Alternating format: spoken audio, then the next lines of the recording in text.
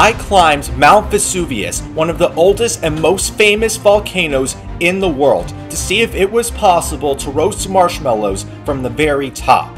We drove up part of the way by bus, but from there, the rest of the way up was not easy by any means. So please be sure to hit that subscribe button and leave a like if you haven't done so already. That way, you won't miss out on any future videos by me. Once we go through there, the rest of the way up is on foot. I've got my gimbal. We're going to set that up in a little bit.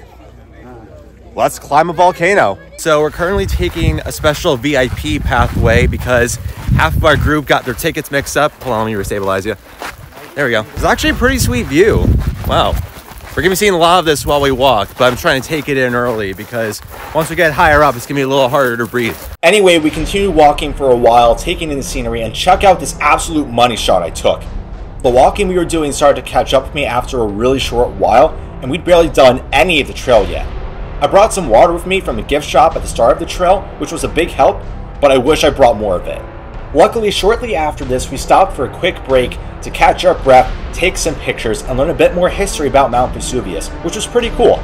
Now, pay close attention to this next part, everybody, because this is me finding out in real time that we still had at least another 800 meters left to go. But who am I to complain when we got to take in incredible views like this the entire time we were walking? Who am I kidding? I was exhausted. Okay, we're about 75, 80% of the way up at this point. Uh, surprisingly, I'm getting used to the extra thin air, but I'm losing all feeling in my legs right now. Really hoping we stop to catch our breath at the peak for at least a little while. Okay, Albin, we're, we're about 80% of the way up. How are you feeling? Orange is the only color you can taste. Good to know. A little later, I found a stick on the ground, which was going to help tremendously once we reached the top of the mountain. And then, before I knew it, we stopped to have yet another break. Ah, oh, thank God. You said it, and I actually got to sit down for this one, have some water, things were good, and then it was over. Well, that was a very nice but short-lived break. Let's keep going. This next part of the hike was especially challenging because it was around this point where we noticed that the ground was slowly getting steeper the higher up we went, and it started to feel like there was no end in sight. Okay, so I think we're getting really close to the crater.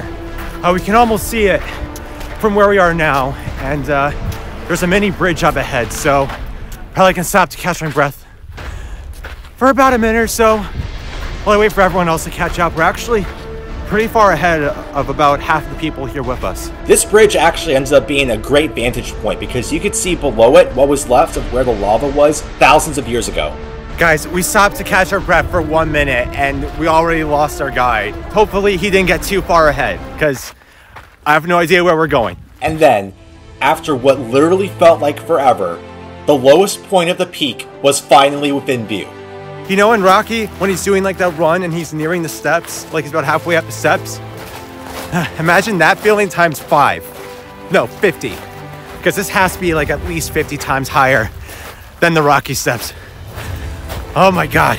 Now that we were much further up Mount Vesuvius at this point, it was time to begin setting up for our experiment before we went any further up. So anyone who's ever taken a science class would know that heat rises. And what better place for heat to rise than at the top of an active volcano? So I brought these with me. Hardly anyone in the group knows I have them. And we're gonna answer the question probably no one was wondering. Can you or can you not roast marshmallows on top of an active volcano?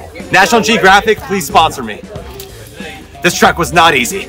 After another crash course on Mount Vesuvius history, we got one final but very crucial warning before we continued hiking any further up the volcano. So we've just been told if we don't want to keep going any further because we have breathing problems or anything, this would be the point to turn back. I've dedicated myself to this bit, to you guys, my audience, and I think it'd be crazy to turn back now. So I broke down my gimbal just to make my arm like lose a little bit less feeling while we keep walking. We're gonna keep going. We're gonna keep going. Not much later, I would begin to rethink my decision a little bit. And shortly after that, I kind of lost my balance, just for a second. Okay, I nearly just fell over, in case you couldn't guess that from that B-roll. So I'm probably just gonna stop filming for a little bit so I have a hand free in case I lose my balance again. I'll see you guys at the top. We're back. Right ahead of me is the highest point of Mount Vesuvius we can physically climb to. Let's check it out. Ciao. You it. Aside from all the bugs, this was a thousand percent worth the climb. I mean, check this out. Check this out. You don't see this every day. And now, to answer the age-old question probably no one else was wondering, let's go. Two hours later. Okay guys, we're back at the hostel. This is my view by the way. I'm just kind of waiting for the shower to free up and you're probably wondering what happened when we reached the top of Mount Vesuvius. Well, I'm gonna break it down for you right now. I looked it up just now and on average, it takes about five minutes to roast a marshmallow, which is about how long we were at the top of Mount Vesuvius for taking pictures, taking in the view, all that kind of stuff. As we started making our way back down, my marshmallow was looking exactly the same. I don't know whether or not the thinness of the air that high up was factoring in and also just like the amount of time we were up there for, but I'm willing to bet they did at least a little bit. So the answer to the question that I posed with this video, can you roast marshmallows on top of an active volcano? Most likely not, but at least I had a snack on the way down. Tastes like chicken. We kept very carefully walking for a while and then I ditched my stick right outside one of the gift shops. That's right, turns out Mount Vesuvius has more than one gift shop along each of the trails. And apart from a few select items, they each offer many of the same things as each other. So you're not really missing out on too much if you just stick to the gift shop right by the start of the trail. They all only take cash, which I had to learn the hard way. So when you go, bring plenty of euros. As for walking that whole way up itself, the views are absolutely worth it. The bugs, not so much. Also, just take a look at how scuffed my shoes are. I definitely need to wash these when we're back in Rome. Anyway, I'm gonna hop a shower and get ready for dinner. Ciao.